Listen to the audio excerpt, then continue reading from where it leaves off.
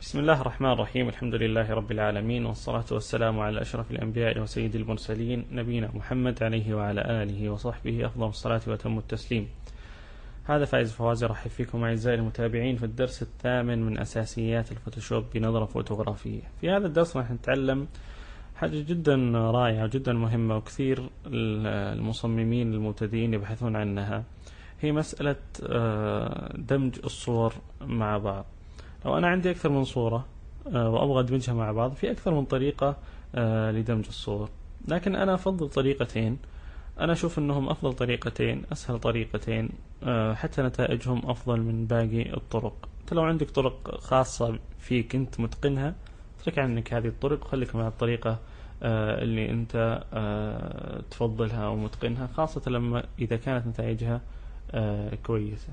عشان نز... عشان نبدأ درسنا لابد نفتح الصور. آه... نروح للصور. نختار الصور مثلا إحنا نبغى آه ندمجها ولتكن هذه الصورتين مثلا. عندنا هذه الصورة هذه الأصل ونبغى ندمج معها هذه الصورة. آه نمسك الصورة ونسحبها. تقدر تسحب الصورة أنت. لما تمسكها كذا تسحبها توديها إلى العمل الثاني تحطها هنا تسيب ال keyboard تنتقل لك الصورة. طريقة ثانية لأنه في واحد من الشباب سألني عن طريقة نقل الصور مع بعض. طريقة ثانية control A تمسكها وعفوا control A نفس الطريقة. control A كنت بعدين control C نسخ بعدين control V أو V. لصق تنتقل لك الصورة عادي. وهكذا مع أكثر من صورة ما عندك أي مشكلة. حتى من الإنترنت ممكن تمسك صورة في الإنترنت تسحبها تسحبها إلى أيقونة الفوتوشوب وتجيبها هنا في في مكان العمل وتسيبها وتنتقل لك. ما عندك أي مشكلة. طيب. الآن نقلنا الصورة. طيب نبغى ندمجها. عندنا ال layer الأول هذه الصورة وال layer الثاني ال background الصورة آه الأصلية. عشان أدمج هذه الطبقة راح نأخذ الطريقة الأولى اللي هي طريقة القناع الدمجي. عن طريق القناع أو ال mask. آه نفتح mask من هذه الأيقونة. نلاحظ أنه الصورة هذه أو العمل الأول أو اللاير الأول آه فتحنا جنبه ماسك آه باللون الأبيض نتأكد أن هذه الألوان أسود وأبيض أو أبيض وأسود. طيب آه ونتأكد ونختار أداة التدرج اللوني. نختار أي طريقة يعني مثلا نختار الدائرة أنسب شيء وبشوف كيف الحين إيش اللي راح نسوي. نختار الدائرة وأنا بتقصد أضغط هذا الخيار. أنا عكست الدمج الآن صار الأبيض على اليسار والأسود على اليمين. تمسك تتأكد إنك محدد هنا طبقة آه الطبقة الأولى ومحدد صورة ال mask. مو محدد هذه الصورة ال mask. وتبدأ ترسم تدرج عادي من النص تتجه إلى اليمين أو اليسار وتسيب. إيش اللي صار؟ صار إنه الدمج صار عندي في النص يعني الحواف باينة والنص مختفي وأنا بالعكس أبغى الحواف مختفية والنص باين. فأسوي control Z أرجع خطوة وأشيل الصح من هذا الخيار reverse أشيل الصح منه بعدين أبدأ أسويها مرة ثانية.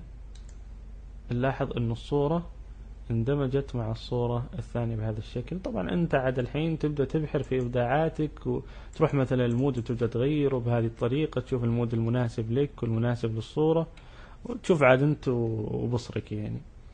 راح تراجع راح أحذف ال mode. أو عفوا ال mask أمسكه كذا وأحذفه. أولاي. وأرجع ال mode. نعم إيش سويت؟ طيب خلينا نحذف بهذه الطريقة control طيب. هذه الصورة الأصلية. الآن الطريقة الثانية. الطريقة الثانية باستخدام أداة الفرشاة الناعمة. تأخذ أداة الفرشاة تتأكد أنها فرشاة ناعمة اللي هي الفرشاة الأولى هذه وتكبر وتصغر الحجم آه، حجم الفرشاة حسب الصورة وحسب العمل اللي عندك. فلين تبدأ تروح للحواف تبدأ تمسح بهذه الطريقة. استخدام الفرشاة. تمسح بهذه الطريقة. تبدأ تمسح من فوق تقدر تمسح من فوق كمان بهذه بهذا الشكل عفوا. كنت بعد هذا شوي. تبدأ تمسح آه باستخدام أداة الفرشة لو غلط تقدر تسوي تراجع وتكمل بهذه الطريقة. تغير ال mode لل mode اللي أنت تبغاه. بالتالي يتم الدمج آه، بأفضل صورة. أنا أشوف أن هذه الطريقتين هي أفضل طريقتين وإن كنت أفضل طريقة القناع الدمجي لأنها طريقة أكثر احترافية ومناسبة آه، بشكل أكبر. في حاجة بس أنا نسيتها برجع للقناع الدمجي. فرصة نعيد الدرس بشكل سريع. لو سوينا القناع الدمجي وأخذنا أداة التدرج اللوني وكل شيء okay وسوينا هذا التدرج مثلا ورسمناه و okay اندمجت الصورة. لو أنا ما أبغى ادمجها بهذا الشكل يعني أنا ما أبغى إنه تكون الدمج دائري. يعني مثلا أبغى أحط الصورة في الزاوية هنا وأبغى الدمج يجي بس من هذه آه، الجهة. فتقدر تغير نوع التدرج تخلي التدرج هذا اللي هو التدرج اللي من جهة واحدة. تسوي زي كذا. عفوا. تسوي العكس.